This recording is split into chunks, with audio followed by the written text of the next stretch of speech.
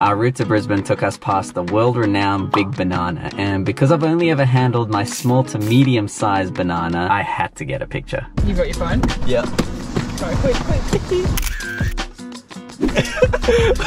what the f are we doing?